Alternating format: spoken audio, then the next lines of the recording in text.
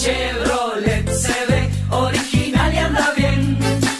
Mirvic Repuestos. Mirvic Repuestos, una vida dedicada a ser tan original como vos. Su Chevrolet se ve original y anda bien. Cerro Largo y G. Mirvic Repuestos. 2-901-1675. Querido Enrique, un gusto saludarte. Bienvenido a Tirando Paredes. ¿Cómo te va? Bu- Bueno, ¿qué tal, Pillo? ¿Cómo te va? Este, y bueno, eh, esto es la magia que tiene ahora la comunicación, que a través de, Internet te, pu- te pueden estar escuchando cualquier lugar del mundo, ¿no? Así que para Frank, para Pablo y para todos los gallegos que nos están escuchando desde aquí de Piriápolis, en donde también hay muchos barcos que se están reparando este, en el puerto de Piriápolis, este, a raíz de esta pandemia, este, porque se aprovechan estos tiempos de calma este, justamente para ese tipo de trabajo. Entonces, este, para ellos el abrazo desde la hermosa costa de, de- de- de- del Uruguay a la hermosa costa gallega. Me parece muy bien, me parece muy bien y seguramente se deben estar riendo y tocándose, codeándose entre ellos mientras están laburando. Bueno, Enrique, Sí, un, sí. gusto recibirte como siempre, lo sabés. Este, contame un poco sí. cómo estás viviendo vos, cómo está viviendo tu familia esta situación de pandemia y contame un poco la- las reflexiones que te va generando todos estos días que ya son unos cuantos y, este, y seguramente unos cuantos que todavía nos queden por, por transitar con esta situación complicada. Bueno, yo, yo eh, he cumplido, he tratado de cumplir al pie a la letra lo que ha dicho este, el Ministerio de Salud Pública del Uruguay, este, el gobierno, los científicos. Este, creo que los científicos han sido un, aporte que nos- a mí, en lo personal, me pone muy orgulloso como, como, como uruguayo de tener científicos de la, de la capacidad, de la calidad que tienen los nuestros, ¿no? Porque este, yo creo que ahí está un poco la llave de, de- lo bien que la estamos pasando, entre comillas, ¿no? Porque eh, no es que la estemos pasando fenomenal, pero se ha enfrentado con, con- con dignidad este, y con mucha capacidad este momento. Este, y yo creo que los científicos uruguayos eh, han mostrado su, su capacidad y han demostrado que todos aquellos que están eh, la Facultad de Ciencias estudiando hay que apoyarlos, hay que hay que hay que este, dignificarlos eh, y hay que tratar de, de todo punto de vista y sobre todo de lo, de lo económico rodearlos porque en este, este tipo de situaciones, y eh, hemos estado todos mucho leyendo, se van a repetir y el que se piense que el coronavirus se va y que no va a pasar nunca más nada está equivocado. Entonces, este, me parece que desde nuestro punto de vista como ciudadanos comunes, este, a la gente de la salud, este, que, que ha hecho un trabajo excepcional, que ha este, dado su- su- sus horas de trabajo y que se ha enfermado a raíz de tener ese contacto directo muchas veces con quien padece la enfermedad, este, también, este, yo creo que esas son las cosas más, más lindas dentro de lo feo que ha sido tener que enfrentar este momento. Claro, claro. Eh, vos sabés que yo hacía una reflexión. Este, mira, vos justamente hablabas de, de los científicos. Mañana vamos a charlar a las ocho y, la y media de la mañana con Rafael Radi. Eh, ahí nos unen con claro. Radi una serie de situaciones históricas. Obviamente, un hombre de Liverpool. Este, y en algún momento con alguna vinculación familiar y bueno, y hemos charlado fuera del aire con él en más de una ocasión, obviamente tratando este, de, de saber, de, a ver, para poder informar, preguntarle a los mejores, que está en el ABC de lo que es el periodismo. Y bueno, desde ese punto de vista, este, la verdad lo que tratamos de informar es justamente con, gente vinculada a, a- a los que tienen realmente capacidad para entender esta situación y desde el punto de vista técnico, por lo menos situarnos en la realidad de lo que estamos viviendo. Así que mañana seguramente va a ser una charla muy, muy, este, muy interesante. Lo que yo te decía, Quique, eh, muchas veces el sistema político que ha sido criticado eh, por distintos motivos, creo que muchas veces también con fundamento, pero venimos de un gobierno saliente, un gobierno entrante que a las pocas horas genera esta situación este, cuando asume el nuevo gobierno. Y yo creo que el sistema político, me, me interesa tu opinión, ha dado muestras realmente de que estamos en una pandemia, en una situación complicada para todos los uruguayos y que la salud y el aspecto sanitario de todos los uruguayos está por encima de las eventuales diferencias que son normales y que pueden existir a nivel político. No sé cómo lo calibrás vos el tema. Mira, te lo, te, te- te lo sintetizo en una cosa. Este, cuando el presidente de la República va Rivera, hace un esfuerzo de trabajo de casi todo un día, viajando, estando entre la gente, volviendo, y se va a ver a, a- a quien fuera presidente por dos veces de nuestro país, como el doctor Tabaré Vázquez, y es lo primero que hace, y Tabaré Vázquez los recibe y se reúnen para el mundo, para lo que estamos acostumbrados hoy, este, eh, es, es, es, una, una postal espectacular. De la manera yo te decía que me sentía este, eh, orgulloso de los científicos que tenemos, pero, pero así, mirá, como estoy orgulloso cuando, cuando soy comentarista de fútbol de, los, de, la, de esta camada de jugadores excepcionales que nos dieron tantas alegrías en estos últimos 15 años, me siento muchísimo más orgulloso de los científicos y me siento también reconfortado que dos líderes que son antagónicos, que se han enfrentado en la dialéctica, en la opinión, que pueden estar eh, a mil kilómetros eh, de, de, de, la ideología, se hayan juntado en beneficio de buscar soluciones para esto que, que, todos los uruguayos queremos, salir de este momento. Entonces yo creo que la parte política, este, como siempre, mm, los informativos te lo muestran constantemente, puede haber este, discursos que son para la tribuna, este, que yo no acompaño, pero también está lo otro, está ese trabajo que se ha realizado y ese apoyo que yo creo que cualquier uruguayo quiere este, estar al lado de quienes tienen que tomar determinaciones. No, no, no, no es bueno en este momento buscarle la quinta pata al gato. Absolutamente, absolutamente. ¿Cómo, cómo analizás esta situación que se está dando con Brasil? Yo recién decía, prácticamente estamos al borde de las 400.000 casos, entre los casos activos de COVID-19, los recuperados, y los lamentablemente prácticamente 25.000 fallecidos. Y te pregunto esto Brasil tomando en cuenta lo que está pasando en Rivera, Ojo que algunos hacen referencia también de que tenemos que tener mucho cuidado con lo que pueda pasar en Artigas, en Cuarem, una situación ahí también que eventualmente se puede dar con cierta complejidad, obviamente el Chuy, bueno, y, la frontera que tenemos con Brasil. ¿Qué, reflexión te merece esto que está pasando? Eh, yo creo que eh, es todo lo, antagónico a lo que ha hecho Uruguay, ¿no? Y lo que ha hecho en, cierta medida hasta Argentina, ¿no? Este, yo no quiero calificar a menos a un mandatario, pero lo que ha hecho Bolsonaro ha sido tremendo. Yo creo que es el gran responsable de lo que le pasa a Brasil. Primero, este, jamás eh, a un tema tan, tan, tan, tan, este, tan inesperado y tan cruel como es un virus, de las características que es el coronavirus, este, se, se lo puede tomar a la chacota como también lo hizo Trump en Estados Unidos. Este, y lo peor es que en el caso de Bolsonaro no tuvo marcha atrás, en el caso de Trump ha tenido marcha atrás. Porque eh, yo creo que, hay, momentos en que, en, que la postura política de alguien, eh, como la de Bolsonaro, no puede este, tener una continuidad en el tiempo de mantener lo que se dijo cuando se da cuenta, cuando los hechos son incontrastables. ¿no? Lo que pasa eh, en Río de Janeiro, lo que pasa en San Pablo, este, y por suerte lo que no pasa en la misma cantidad en Río Grande del Sur, son números aterradores, ¿no? Y, están al lado nuestro, porque la distancia es muy corta. Si estábamos con mucho temor por lo que pasaba en Chile, por lo que pasaba en Asia, por lo que pasaba en Europa, te puedes imaginar cómo debemos estar este, con, con, con, los hermanos brasileños tan cerca. Este, por suerte, eh, me, da la sensación, por los últimos números, en Rivera rápidamente se, se, tomaron decisiones que pararon un, coso, un poco la mano y habrá que esperar los números que para mí son fundamentales y lo que dicen los, los, médicos, porque en, este tema, Pillo, tenemos que entendernos también cuando lleguemos al tema del fútbol, lo, la prioridad es la salud.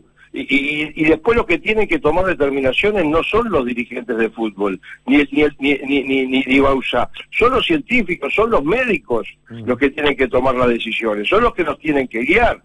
Ahora, uno, porque uno puede opinar, los opinólogos en este tema podemos decir esto hay que hacerlo así, así, no, no, no, no, no, no, no ese, camino no lo hemos de recorrer. Me parece que Bolsonaro tomó ese camino de, de, tomar él las decisiones, cuando eran otros los que tenía que tomar. Cuando le decían los científicos brasileños, mire presidente que esto va a pasar, y él agarraba una motonáutica y se iba a dar una vuelta y abrazaba a los chiquilines y, tiraba el tapabocas y decía vamos a hacer una comida para 500 mil personas y nos vamos a reír.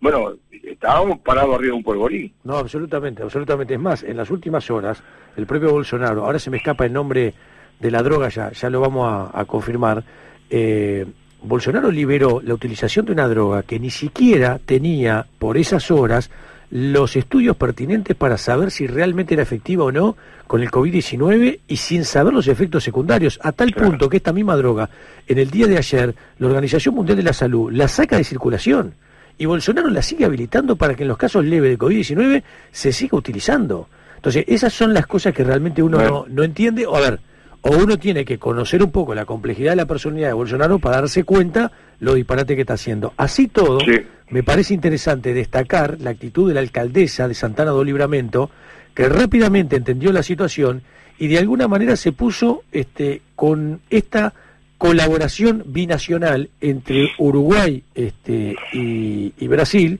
y participó de la reunión justamente con Luis Lacalle Pou en Rivera. Y de hecho, en Santana do Libramento, primero antes que en Rivera, la utilización del tapaboca es obligatorio. Entonces, desde ese punto de vista, me parece que tenemos a alguien que termina siendo un aliado para que Santana eh, do Libramento, este, de alguna manera, cumpla también con esos cuidados necesarios para que en definitiva esto no llegue a trascender de, de forma más intensa para el lado de Rivera. Está claro también, Quique, que en estas horas se están realizando hisopados, prácticamente 1037 entre hoy y mañana, eh, que se hacen al azar por sorteo en distintas zonas que pueden ser críticas de Rivera y quizás eso nos dé para las próximas horas algún aumento justamente en la cantidad de, de positivos de COVID-19. La droga es cloroquina, hay, cloroquina es la droga. Hay, hay, hay, bueno, sí, hay que seguirlo de cerca, por eso te digo, eso, eh, eh, es decir, el, el Uruguay tiene lugares este, que, que, que, por suerte no han tenido un solo caso de, de coronavirus. Y hay otros lugares que por cantidad, por densidad, porque además algunos han, han cometido errores, como esta congregación este, ugandista que se reunió en Rivera cuando no estaba permitido, como el famoso casamiento o cumpleaños, no recuerdo, de Carrasco, esas cosas que se, que, se, que se hacen a lo loco, bueno, por suerte el resto del país y el resto de la sociedad uruguaya este, ha, tomado precauciones del caso. Por eso yo creo que en, en, todas estas situaciones hay que ser muy precavido y no hay que apurarse. Este, hay que estar el pie del acelerador. Vos sabés que estoy mirando los sí. casos de, de, América del Sur.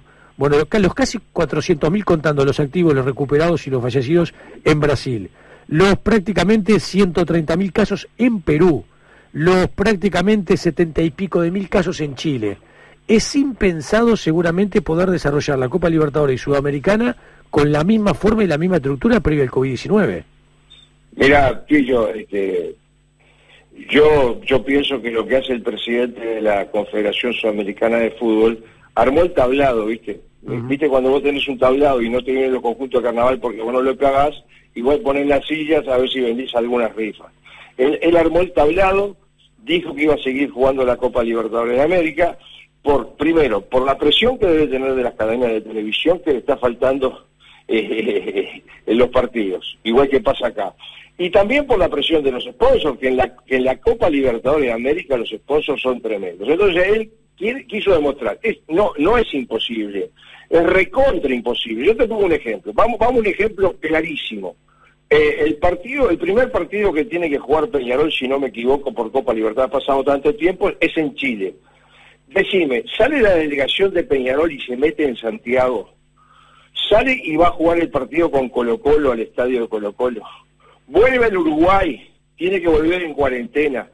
Tiene que ir este Nacional, creo que Nacional tiene un partido, eh, no recuerdo, eh, con, con, Racing en Argentina. Uh -huh. Va a Villaneda, vuelve a... Es, y después, los equipos de Copa, Liverpool si le toca Colombia, ya, eh, pues ya viste, iba a decir, este, Plaza, si le toca eh, Perú, es imposible, es imposible, no, no, no tiene sentido el, el, río que va a correr la gente que vaya, este, y, y, después, y después de todo eso vos tenés que recibir una delegación de chilenos, de brasileños, de argentinos en Uruguay. no, no, no. Eh, eh, la Copa Libertadores, olvídate que no se va a jugar. Claro, claro. Eh, lo que pasa es que acá, acá hay un problema que yo creo que en esto nos corresponde a los comunicadores. Acá se repiten las cosas y se empiezan a decir. Entonces ya la Copa Libertadores de América se iba a jugar en Montevideo, uh -huh. se iba a jugar en Uruguay. Uh -huh. este, el, el, campeonato uruguayo se iba a jugar todo en el, en el Charrúa y se repite una vez el Charrúa. Qué buena idea, qué brillante idea, todos en el Charrúa. Y es lo peor que se, que se puede hacer, jugar en un solo estadio que lo dicen los infectólogos. Lo peor que hay es meter 300 personas los fines de semana en el mismo estadio. Uh -huh. Entonces, entonces se repite y se repite, y es tanta la ansiedad, y es tanta el, deseo de que empiece rápidamente a rodar la pelota, que se agarra por cualquier calle. Y, eso es lo peor que se puede hacer. Por eso el pedido muy bueno hecho por, por, por alguien del gobierno, muy importante, de decir, vamos a sacar el pie del acelerador, si no, no vamos a ver contra la pared. Claro, claro. Mira, Enrique, yo ahí en el, en el tema de la Comebol quizás pueda tener un matiz, porque yo creo que si, si se pudiera buscar un país y una ciudad, o más de una ciudad dentro de ese país, con los números suficientemente bajos, caso Uruguay, caso también Paraguay, perfectamente vos en 20, 20 y pico días podrías disputar la Sudamericana y la Libertadores tomando las precauciones del caso, eh, de alguna manera aislando justamente a los planteles para que puedan disputar los partidos este, en esas condiciones. Lo que sí está claro, más allá de este matiz, es que sin pensado, como dijo el director de competiciones de la Comebol, que la misma se vaya a disputar el 2020 Sudamericana Libertadores en la misma condición, en la misma estructura, previo al COVID-19 por los hechos que estamos hablando. Yo comparto contigo cada vez más que lo que dijo el presidente de la Conmebol en las últimas horas fue fundamentalmente para tranquilizar a los a los grandes sponsors que tiene justamente el, torneo continental y la sensación que queda que difícilmente este año se pueda desarrollar este, la continuidad de ambos torneos a nivel de Copa. Y lo otro que decir que sí ahí comparto plenamente, eh, primero porque existió la información, la dio Eduard Piñón acá en Tirando Paredes, después intentaron desmentirla, no fue Sebastián Bausá, fue otra persona del gobierno de muy alto cargo, de muy alto rango, que habló directamente con Nacho Alonso para decirle, muchachos, saquen el pie del senador, el fútbol va a volver cuando tenga que volver, porque lo que vos decís, que antes que se cortara la comunicación, este, se interrumpiera la misma, es un elemento fundamental. Es muy fácil desde un micrófono venir, sentarse uno y decir, bueno, que empiecen a entrenar. Total, si los números están chatos, total, si no pasa nada, total, si vos ves algún futbolito que se juega entre amigos los fines de semana. Vos tenés jugadores que son profesionales, jugadores que viven de esto y que la salud y el aspecto sanitario es un elemento fundamental. Es muy fácil jugar con la guita ajena. Cuando uno tiene simplemente que decir y opinar como vos estabas este, manifestando hace un rato los opinólogos de turno. Ahora, ponete vos también a entrenar, ponete vos a jugar con el COVID-19 en la realidad que está viviendo y ponete luego a llegar a tu casa donde tenés a tus hijos, pero fundamentalmente a tu mamá, a tu papá que ya tiene una edad avanzada o a tus abuelos. No es tan sencillo el tema. Entonces, que esta llamada que existió el gobierno a mí me parece muy plausible y que el gobierno dirigido por Nacho Alonso se esté tomando los eh, espacios necesarios para ver cuando vuelve el fútbol me parece perfecto. Si el decorrer de los días hace que los números sigan en esta tendencia, que ojalá se mantengan y se pueda adelantar, bienvenido sea pero no es todas las corridas, porque la sensación que queda, no sé qué pensado del tema, es que como que, como que acá hubo, a ver, acá hay un perfilamiento y una directiva. Muchacho, el fútbol tiene que arrancar porque hay una actividad comercial en el fútbol que se tiene que seguir desarrollando. Hay, este, de alguna manera, este, eh, determinadas formas de comunicación y transmisión de los partidos de fútbol y hay abonados que tienen que seguir pagando una cuota que hoy no la están pagando porque el fútbol no se está transmitiendo. Yo digo, está bárbaro, es la perilla económica pero tenemos que priorizar como fútbol la perilla sanitaria, que creo que es lo que está haciendo el gobierno dirigido por Alonso. Mira, acá, acá está este, la decisión que va a tomar ahora la gente que, eh, recibió el protocolo de la AUF, este, que, gente toda no respetable, mucho más que respetable, que va a estudiar el tema y que va a decir, bueno, con este protocolo sí, con este protocolo no. Primera cosa. Segunda cosa, segunda cosa muy importante. Cuando se habla de salir a entrenar un deportista, perfecto, ese deportista, ¿dónde vive?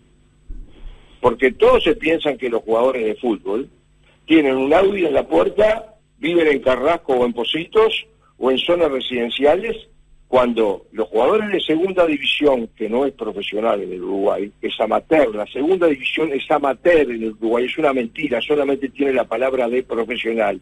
Y la inmensa mayoría de los jugadores de primera división cobran el sueldo mínimo estipulado por, por, por, por, por, este, por el estatuto del jugador. Muchos de esos muchachos jóvenes viven con la madre, porque el padre, porque son de padres separados, lamentablemente, y con los abuelos que viven en la misma residencia, y con hermanos menores. Este, entonces, de pronto en un núcleo, eh, un jugador vive con cuatro o cinco personas. Yo pregunto, si un jugador se infecta e infecta a toda la familia, ¿de quién es la responsabilidad? Claro, claro. Eh, hay que estudiarlo todo, no es solamente la pelota y la cancha y nos juntamos y armamos. Por supuesto que la empresa este, que tiene los derechos del fútbol uruguayo está preocupada, y yo también lo estaría, pero lo que no debe hacer la empresa es eh, apretar el acelerador para que vuelva fútbol a, costa de cualquier cosa. Yo no sé si lo está haciendo, yo lo que noto que hay lamentablemente colegas nuestros que están en una posición desesperada desde la mañana a la noche diciendo que el fútbol vuelva mañana, y te voy a ser sincero, si de mí dependiera, si de mí, si de Enrique Januzzi dependiera, yo hasta que no estuviese la vacuna, este, yo no volvería a jugar al fútbol. Pero e, es una posición de, capaz que no tiene nada que ver. y yo te lo otro día te lo escribía. ¿Por qué? Porque yo creo que el fútbol tiene que volver con todas las seguridades, con todas las garantías. Además, ver un fútbol sin público en la tribuna es lo, más triste que hay.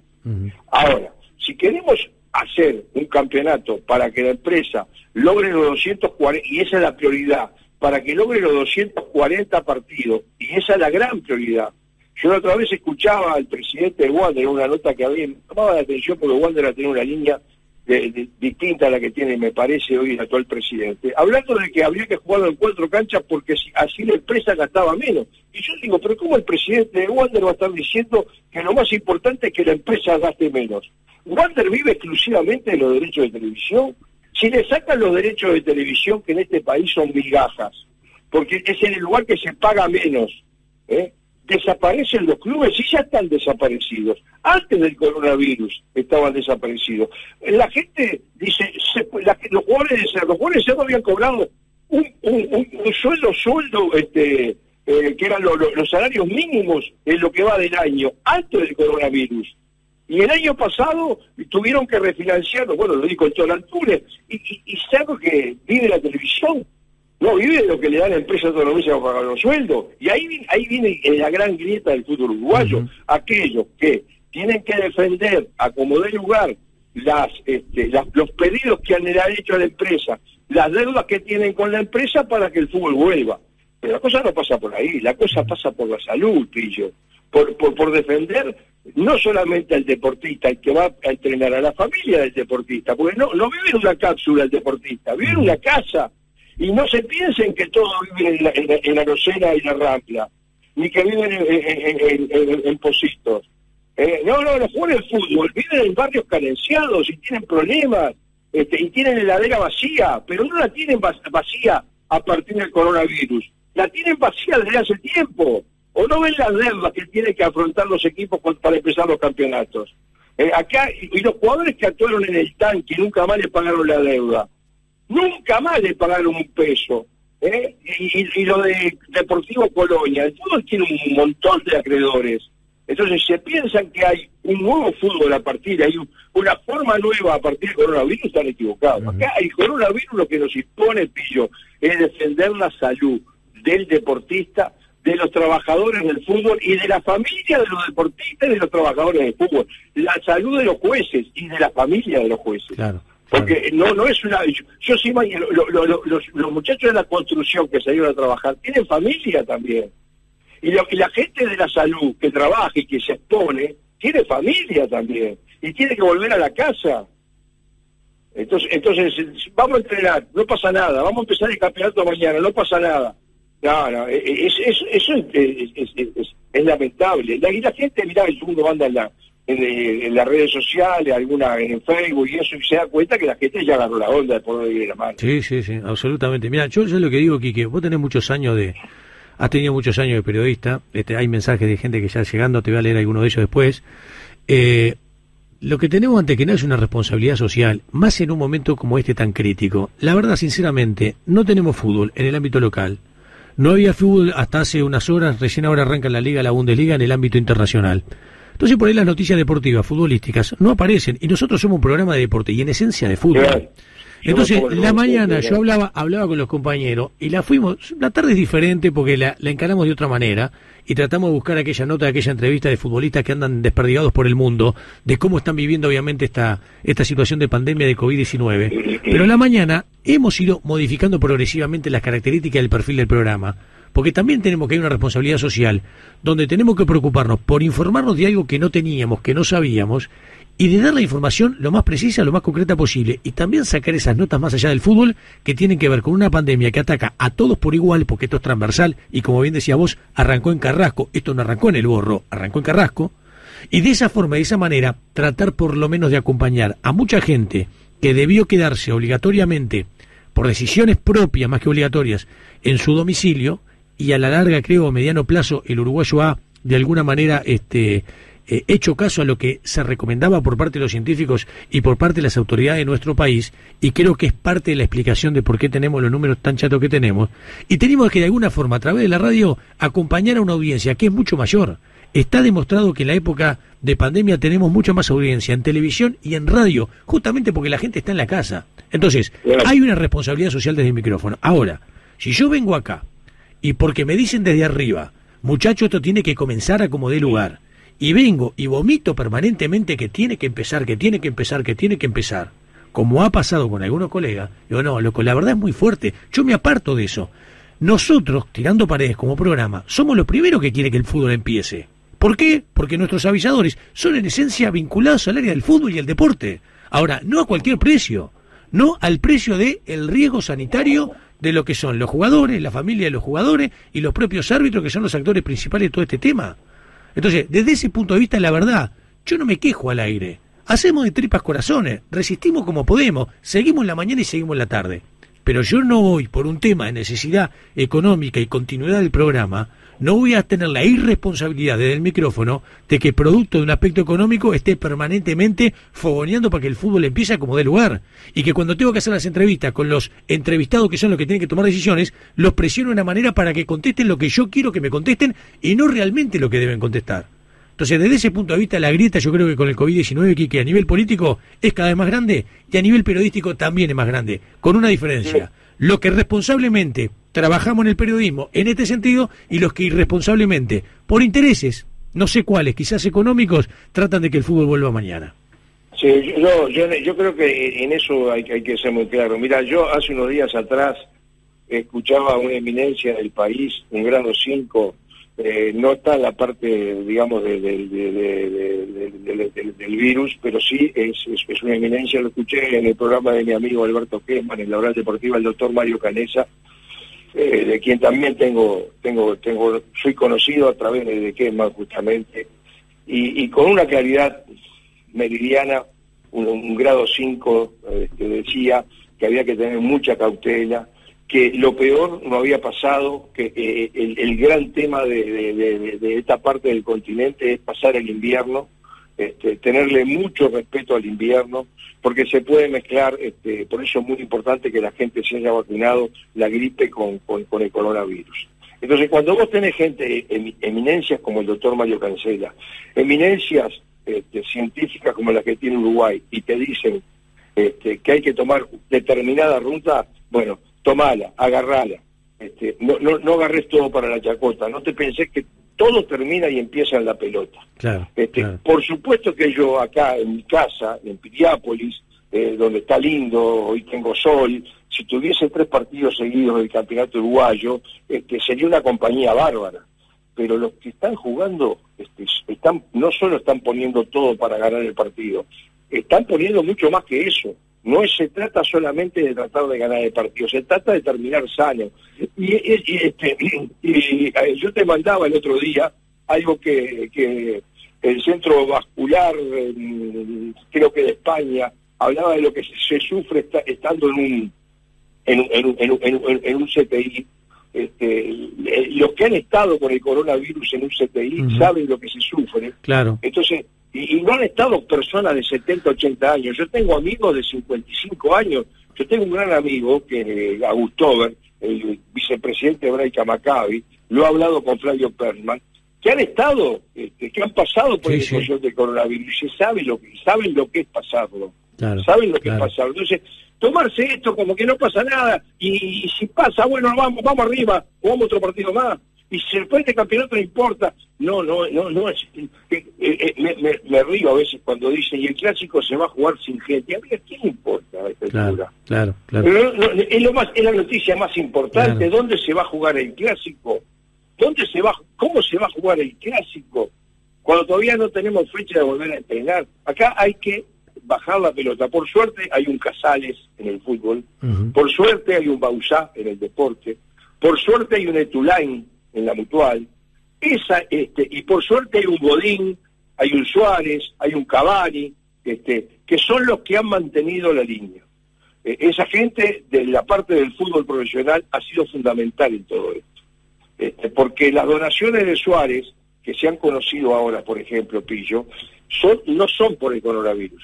Yo te lo digo con propiedad porque yo tengo familiares míos que trabajan en un centro de salud y Suárez, te diría que casi cada tres meses manda donaciones para, para niños con problemas físicos de, de enfermedad.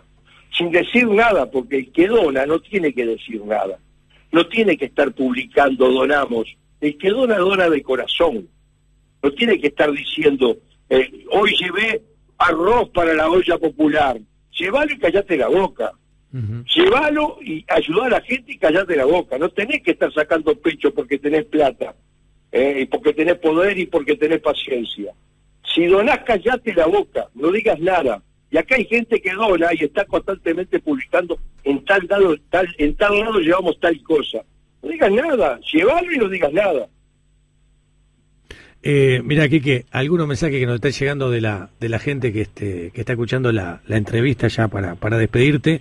Eh, toma alguno, por ejemplo, Gabriel, que nos pone, che, siempre fue buen tipo y siempre fue excelente periodista. Estaría bueno que vuelva a la radio. Traelo, pillo, traelo. Esto me pone Gabriel.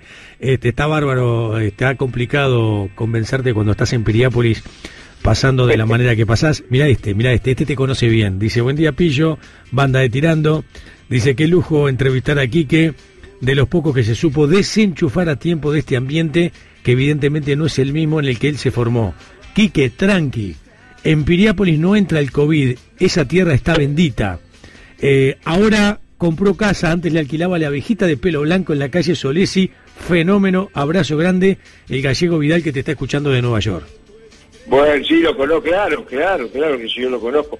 Sí, yo, yo paré muchísimos años al lado de la familia Gauna aquí en Piriápolis, en una casa que era la casa de las tres hermanas. Yo, yo desde el 62 este, y voy para los 70 que vengo acá, te puedes imaginar que Piriápolis es mi vida. Claro, el amigo que termina en 4872 que te manda saludos, el amigo que termina en 8672 su celular que también hace referencia a la entrevista, el amigo que termina en 586 dice Pillo, cada tanto es bueno escucharlo, este reconforta escuchar a Januzzi y le manda un abrazo grande, el amigo que termina en 220, el amigo que termina en 413, en 447 su celular, que también te mandan saludos porque te están escuchando. Quique, te mando un abrazo grande, siempre Bueno, es lindo charlar con vos. Quería pedir un favor, nada Sí, más. dale, dale. Mira, yo estoy en la comisión, tuvieron la, la, la, la, la mala la mala idea de, met- de- de meterme en la comisión de, de los 100 años del, del Club Atlético Bellavista, que, que está este, que está en el año de su centenario. ajá. Este, eh, bueno, Bellavista está organizando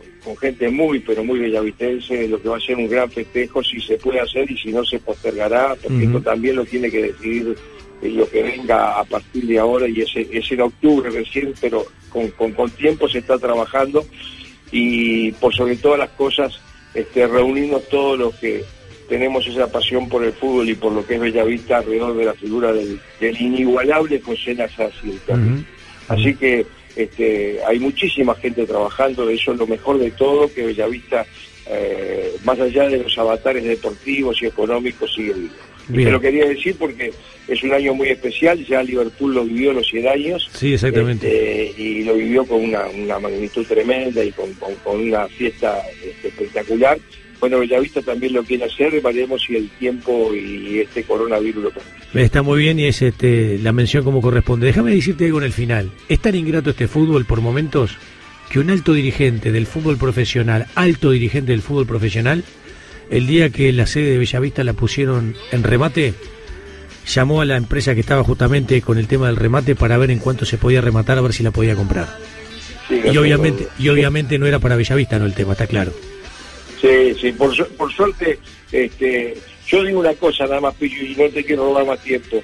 Lo, desde la presidencia de Núñez hasta esta, eh, en donde hay otros dirigentes este, de, capacidad tremenda, como Carlito Seyman, entre otros, por nombrarte alguno, este, toda esa gente que era anónima en Bellavista, que era de la tribuna, que estaba, se ponía detrás del arco y son los que han aguantado Bellavista, este, perfectamente estas directivas de los últimos 6, 7 años podían tener una foto este, compartida y ponerla al lado del más grande que es Nazarci. Han sido próceres en Bellavista. Por eso mi homenaje para ellos y para todos los que han mantenido una institución que ha sido campeona uruguaya, campeona de la liguilla y ha sido quinto en América.